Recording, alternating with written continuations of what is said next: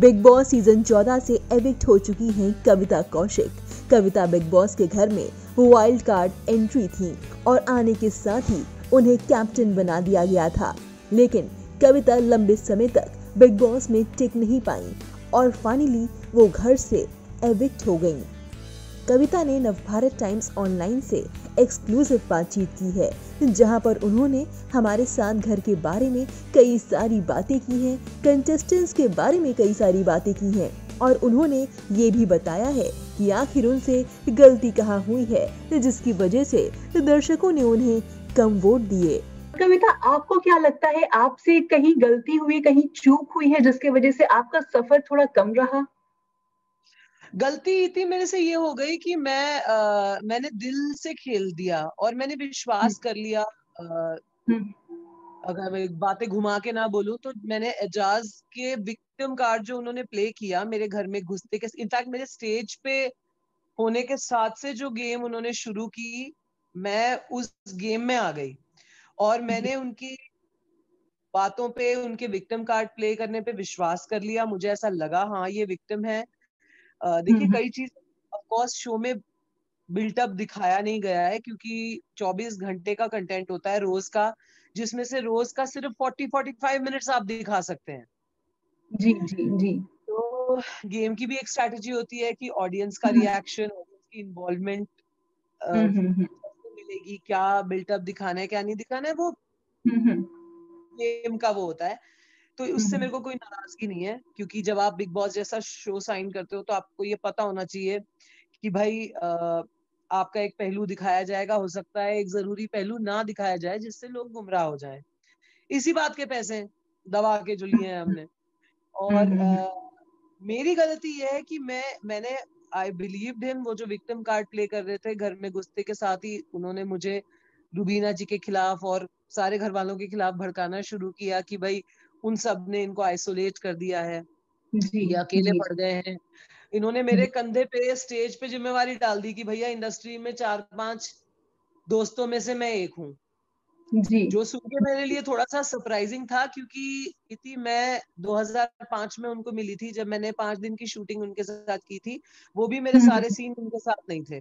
और वो स्टार होते थे आज भी बहुत ज़्यादा काम करते हैं मेरे से ज़्यादा काम करते हैं वो। उनको किसी चीज़ की कमी नहीं है। हम्म, हम्म, हम्म बल्कि मुझे उस शो से निकाल दिया गया था रिप्लेस कर दिया गया था। तो मैं 2000 उनको तब मिली थी जानती हूँ। 2005 से लेकर 2020 तक यानी कि 15 सालों में मैं उनको तीन बार मिली हूँ। और ये तीन वाक्य मैंने बार बार गिनवाए हैं कि एक बार तो डॉग शेल्टर में क्योंकि मुझे किसी ने मेरे को डॉग्स के लिए कुछ करना था तो मैं जानना चाह रही थी कि कोई ऐसा शेल्टर हो जहाँ जाके मैं या तो कोई अडॉप्ट कर लू डॉग या मैं कुछ थोड़ा सा कुछ करूँ जानवरों के लिए। तो किसी ने बताया था कि जी एजाज करते हैं डॉग्स के लिए। तो मैंने उनको फ़ोन किया था और मैं डॉग शेल्टर उनके साथ गई थी। एक मुलाकात वो उस मुलाकात में हमारी बातचीत मैं और तुम भी अगर मिलेंगे कहीं तो एक जेनरिक हम्म। बातचीत होगी और अगर पहले कभी मिले हुए हैं तो हम कि हाँ इतने सालों में क्या हुआ हमारी लाइफ जर्नी क्या रही वो हम्म, बातचीत हम्म। होती है उन्होंने भी कुछ बातें करी मैंने भी शेयर की। वो बातें जब मैंने अपने हस्बैंड से डिस्कस की तो मेरे हस्बैंड ने उन्हें हम्म। मेरी सरप्राइज़ बर्थडे पार्टी जो अभी 2020 में फरवरी उसमें उन्होंने मेरे हस्बैंड ने उन्हें इनवाइट किया ओके okay. उस बर्थडे में फ़ोटो खींची जो कई जगह अब लोग दिखा रहे हैं कि देखो फ़ोटो खींची है तो पार्टी की है तो दोस्त तो नहीं ठीक है अब ऐसे तो पार्टी की फ़ोटो मेरी शाहरुख खान साहब के साथ भी है तो ऐसा तो है नहीं कि वो मेरे दोस्त हैं काश होते जी, जी. हम्म, हम्म, हम्म। तो वो पार्टी फिर वहाँ पर मैंने उनसे पूछा भाई सिंगल हो कोई मतलब या गर्लफ्रेंड है या मैं कोई मिला दूँ अपनी सहेली या बहन? जैसे हम करते हैं ना बातें तो मुझे पता चला कि नहीं वो सिंगल है।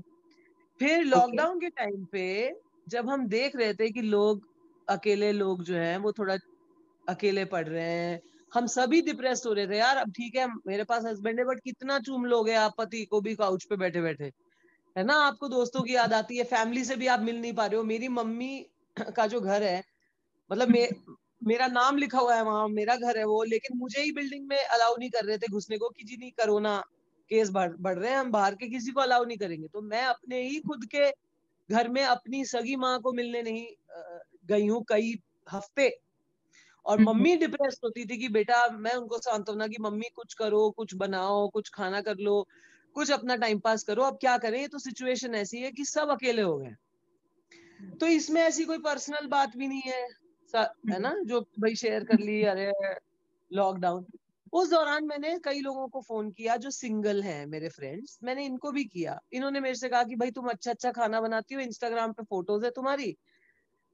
uh, मेरे पास खाना बनाने के लिए कोई नहीं है ये नहीं है। अब तो वो जो बात मैंने कही वो हम्म। इस मुतालिक थी कि भाई मैंने उनको कोई कमी नहीं है वो भी रेसिपी देख देख के मोबाइल से अपना रणवीर बरार साहब की रेसिपी देख के बना सकते हैं जी, लेकिन जी.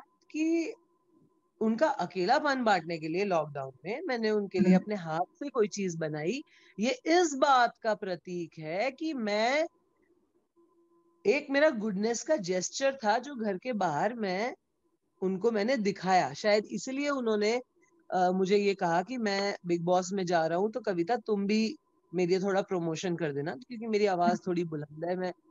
हम्म, तो मैंने हम्म। उनको कहा चलो ठीक है तुम अगर इतने एक्साइटेड हो मैं देखूँगी। हालाँकि खुद उनको ये पता था कि मैं भी बिग बॉस में शायद इस बार जाऊँगी क्योंकि हर साल ऑफ़र होता है इस बार भी ऑफ़र हुआ। तो हम्म, उनको ये बात पता था जी। घर के अंदर घुसते के साथ ही मैंने देखा कि वो बिल्कुल विक्टिम हो रहे हैं। जी। कि भाई लोगों ने इन्हें आइसोलेट कर दिया और वो हर चीज़ हम्म। में विक्टिम कार्ड प्ले कर रहे थे। मैं काफ़ी देर मैंने ये झेली ये बात लेकिन फिर मैंने रियलाइज़ किया कि इस इंसान को दोस्त की ज़रूरत नहीं है इनको चमचों की ज़रूरत है इनको ऐसे सपोर्ट की ज़रूरत है जो इस गेम में उनकी इमेज बिल्डिंग करें। चमचा बन के जो कि आप जो एपिसोड चल रहे हैं उसमें आप देख ही रही हैं।